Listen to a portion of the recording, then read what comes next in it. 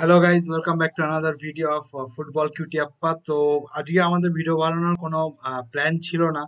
আহ, আজকের দিনটা আমরা রেস্ট নিচ্ছিলাম কিন্তু একটু আগে জাস্ট এই আধ ঘণ্টা আগে একটা রিপোর্ট এসেছে যে ফিফা একটা স্টেটমেন্ট রিলিজ করেছে টুইটারে যেমন কি তোমরা দেখতে পাচ্ছ স্ক্রিনের ওপর যে FIFA has decided to lift the ban from AIFF তো স্টেটমেন্টটা যদি আমি একটুখানি পড়ি তো দেখতে পাবা এখানে বলছে যে the FIFA council has decided to leave the suspension on AIFF due to that that it had impose due to third party influence তো বলছে যে থার্ড পার্টি ইনফ্লুয়েন্স যেটা লাস্ট আমি যে লাস্ট আমরা ভিডিওটা বানিয়েছিলাম ব্যান নিয়ে, তো সেখানে যেটা বলা হয়েছিল যে থার্ড পার্টি ইনফ্লুয়েন্সের যেটা কারণ, যে কারণে ব্যান হয়েছিল, তো সেই আমরা জানি যে যে থার্ড পার্টি ইনফ্লুয়েন্সটা নাকি সরে গেছে অ্যাকর্ডিং টু ফিফা এবং সেই জন্য ফিফা ব্যানটা সরিয়ে নিয়েছে।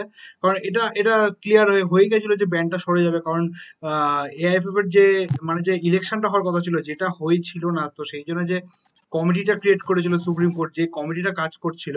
তো ভিপা সিম্পল চাইছিল যে একটা ইলেকশন হোক ইলেকশন হওয়ার পর একটা গভর্নিং বডি আসুক যেখানে এএফএফ কে রান করবে, নাকি কোনো কমিটি যাকে অ্যাপয়েন্ট করেছে সুপ্রিম কোর্ট দ্বারা যে রান করুক। মানে ফিফা সিম্পল চাইছিল যে তাড়াতাড়ি একটা ইলেকশন হোক এবং তারপরে কমিটি এসে সে রান করুক। তো এবং সেই ইলেকশনটা কিন্তু হওয়ার অনেক দেরি ছিল অলমোস্ট এক বছর লেট ছিল ইলেকশনটা হওয়ার কথা। কিন্তু যেভাবে হোক আমাদের সেন্ট্রাল গভর্নমেন্ট হোক সুপ্রিম কোর্ট হোক কিংবা বাদ বাকি যেসব অফিসিয়ালস হোক সবাই একসাথে they have worked out a plan এবং তারপরে ইলেকশনটা হয়েছে এবং ইলেকশনের পর কিন্তু interestingly the new AIFF president is Kalyan Chaubey ah, তো কল্যাণ চৌবে আহ, আহ, মোটামুটি আমার যে ভিউয়ার্স আছে বাংলা ভিউয়ার্স বেশিরভাগ তারা সবাই জানে যে Kalyan Chaubey is a former Indian football player goalkeeper and captain তো প্রথমবার বলা যেতে পারে এরকম হলো যে এআইএফএফ এর প্রেসিডেন্ট পদে একজন বলা যেতে পারে একজন ফর্মার ফুটবলার অ্যাপয়েন্ট হয়েছে। তো আমার মনে হয় সে যতই যা করুক অ্যাটলিস্ট সে ফুটবলের ডেভেলপমেন্টের জন্য কাজটা করবে। কারণ এরকম না যে এর আগে যারা অ্যাপয়েন্ট হতো, তারা মেনলি তোমার ওসব বিভিন্ন পলিটিক্যাল পার্টিস থেকে অ্যাপয়েন্ট হতো। এবার কল্যাণ চৌবে কিন্তু পলিটিক্যাল পার্টির সাথে যুক্ত। বাট কল্যাণ চৌবে এটাও মাথায় রাখতে হবে হিজ আ ফর্মার ফুটবলার এবং যে কোনো জাতা ফুটবলার ভালো লেভেলের ফুটবলার এবং ফুটবলের ডেভেলপমেন্টের লোকাল এরিয়াতে অনেক কাজও করেছে। তো সেই দিক দিয়ে কল্যাণ চৌবের অ্যাপয়েন্টমেন্টটা মনে হয় ইন্ডিয়ান ফুটবলকে অনেকটা এগোতে সাহায্য করবে। আর তো এটাই ছিল ফিফা স্টেটমেন্টটা আর বেশি ডিটেলসে পড়ব না। মেন কথা হচ্ছে ফিফা আর এআইএফএফ দুজনে এআইএফএফ এর ওপর থেকে ফিফা আর এএফসি দুজনে মিলে যে জয়েন্ট ব্যান্ডটা দিয়েছিল তো সে ব্যান্ডটা তুলে নিয়েছে। তো তুই বল কিছু এটার ব্যাপারে তোর ভিউজ কি? এত তাড়াতাড়ি হ্যাঁ হবে তো আমরা এটা ভাবতে পারিনি তো এটা একটা খুবই ভালো নিউজ মানে আমরা কেউই ভাবিনি যে এত তাড়াতাড়ি উঠে যাবে ব্যান্ডটা আমি তো মিনিমাম ভেবেছিলাম যে ছ মাস সাত মাস পেরিয়ে যাবে মানে পুরো এই বছরটা শেষ হয়ে যাবে তারপর প্ল্যান দিয়ে। ব্যান্ডটা উঠবে। সবচেয়ে যেটা খুশির খবর মানে আমাদের কাছে এটা FIFA under seventeen women's world কাপটা হবে। যেটা মানে মিডিয়া রিলিজ থেকে জানা যাচ্ছে যেটা অক্টোবরে প্ল্যান আছে সেটা হবে হবে। সেটা সবচেয়ে টেনশনের ব্যাপার ছিল যে একটা এত বড় ওয়ার্ল্ড কাপ যদি মেয়েদের হোক অনেকজন বলবে মেয়েদের ওয়ার্ল্ড কাপ ইগনোর করে। বলে না কেউ মেয়েদের মেয়েদের ওয়ার্ল্ড কাপ বা ক্রিকেট মানে যাই খেলে সেটা ইগনোর করে। কিন্তু এটা ওয়ার্ল্ড ফুটবলে অতখানি ইগনোর হয় না যেটা ইন্ডিয়াতে হয়। তো এইটা হবে। এটা না হলে একটা ওয়ার্ল্ড ফুটবলের কাছে ইন্ডিয়া খুবই পিছিয়ে যেত। পরবর্তীকালে যে আমরা মানে আমরা একটা চেষ্টা করছি যে একটা যে বড় ওয়ার্ল্ড কাপ হোস্ট করার সেটা পাওয়ার জন্য কিন্তু আরও পাঁচ পঞ্চাশ ষাট বছর ওয়েট করতে হতো। নাকি আমরা হ্যাঁ। আগামী ওইগুলোতে মানে বিট করাটা ইয়ে ট্রাই পেতাম। সো এটা একটা বিগ নিউজ এইটা অন্তত হয়নি। আর যেগুলো এএফসি কাপ হবে এএফসি চ্যাম্পিয়ন্স কাপ সেগুলো সবই হবে। সেগুলো ব্যান হয়ে গেছিল। এর সাথে সাথে শুধু হ্যাঁ। ফিফার ইয়ে ব্যান হয়নি। আর প্লেয়াররা যেগুলো নতুন নতুন প্লেয়াররা সাইন হবে সেগুলো মানে ব্যান হয়ে যেত। যদি ব্যান যতদিন থাকতো আমাদের কাছে ততদিন আমরা কোনো বাইরের লিগের প্লেয়ার আনতে পারতাম না। তো আমরা এখন ট্রান্সফার করতে পারি। যে কোনো আইএসএল এর কোনো বড় প্লেয়ার চাইলে তারা যদি আনতেই পারে হ্যাঁ, সেটাই এটাই বলব আমি এই তোর এই আহ, যে এএফসি চ্যাম্পিয়ন্স কাপ যেটা বলছিস খেলতে পারবে এএফসি কাপ তো ওটাই বলব যে এটা কিন্তু মোহনবাগান ফ্যান্সদের জন্য খুব একটা ভালো খবর। কারণ যাদের অনেকে হ্যাঁ মানে খুবই ভালো খবর। যে অনেকে কনফিউশন ছিল যে মোহনবাগান তাহলে কি এএফসি কাপটা খেলতে পারবে? তো ব্যানটা যদি থাকতো কারণ ব্যানটা কিন্তু ফিফা এবং এএফসি মিলে জয়েন্ট ব্যান দিয়েছিল ইন্ডিয়ার উপর তো যদি ব্যানটা কন্টিনিউ করতো তাহলে কিন্তু এএফসি কাপ থেকে ইন্ডিয়া বাদ হয়ে যেত। ঠিক যেরকম ভাবে কালকে আমরা দেখলাম যে ইউএফএ চ্যাম্পিয়ন্স লিগের ড্র থেকে কিন্তু সব রাশিয়ান টিমকে বাদ দিয়ে দেওয়া হয়েছে। গত বছর কিন্তু জেনিট খেলেছিল কিন্তু যেহেতু ফিফা এবং ওখানে ইউএফএ আছে ওদের তারা যেহেতু ব্যান করে রেখেছে রাশিয়াকে। তো সেই জন্য কিন্তু রাশিয়ান টিম জেনিট চ্যাম্পিয়ন হওয়ার পরেও চ্যাম্পিয়ন্স লিগ আসতে পারেনি।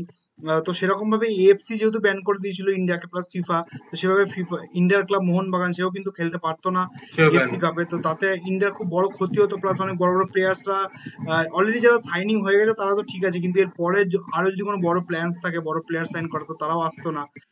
প্লাস এই প্লেয়ারগুলো কন্ট্রাক্ট শেষ হলো তাদেরকে রেজিস্টার করতে পারতো না পরের সিজনের জন্য।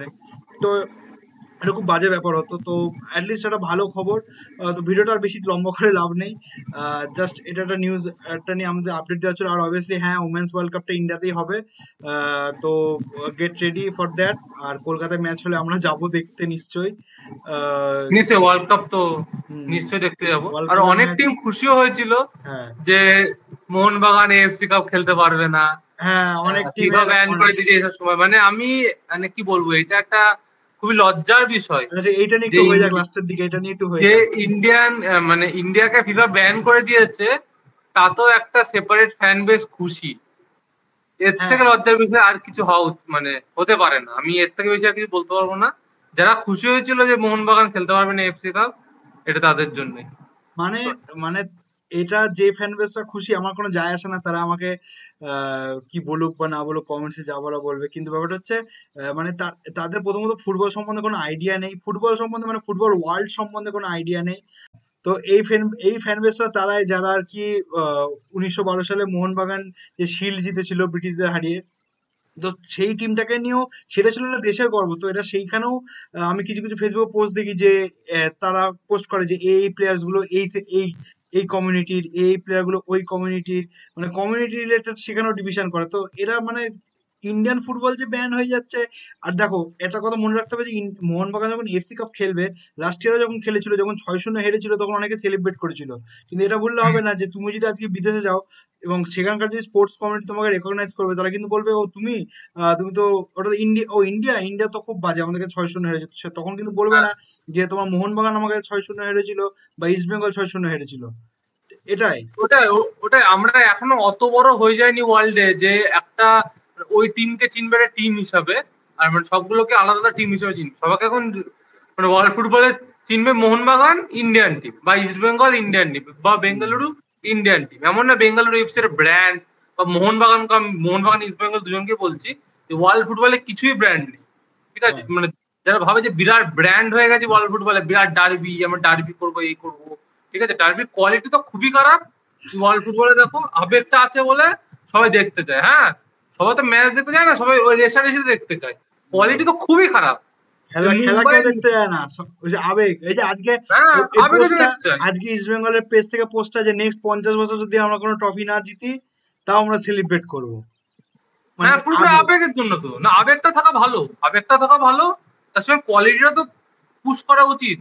আবেগ নিয়ে আর কতদিন চলবে? আবেগ নিয়ে শুধু এই কি বলব এই স্টেট অব্দি চলবে। ন্যাশনাল অব্দি পৌঁছতে পারছি না আবেগ নিয়ে। আবেগ নিয়ে ওয়ার্ল্ড কাপ শুরু ওয়ার্ল্ড কাপ শুরু হওয়ার পর থেকে পঁচানব্বই বছর হতে চলল। পঁচানব্বই বছরে একটা ওয়ার্ল্ড কাপও খেলতে পারল না আবেগ। ওই যে আবেগ ডার্বি আছে আমরা আমরা ডার্বি খেলি তো ওয়ার্ল্ড কাপ খেলে কি হবে? হুম, ওটাই। মানে এটাই খুব দুঃখজনক ব্যাপার। যা হোক এটা নিয়ে বেশি যাব না। যদি কারোর গা জ্বলে থাকে কতটা শুনে তো সে ভিডিওটা সরি আমার এখানে সেট আপ ফেট আপ পড়ে যাচ্ছে। যদি কারোর যদি এটা ভিডিওটা দেখে লাস্টের দিকে গা জোড়া থাকে তো সে আমার ভিডিওটা ডিসলাইক করতে পারো। কমেন্টসে গালাগাল দিতে পারো। আমার রিচ বাড়বে তাহলে। আমরা ওপেন আমরা ওপেন গালাগালি ডিসলাইকের জন্য। Open to anything so that's all signing out bye bye peace Jai Hind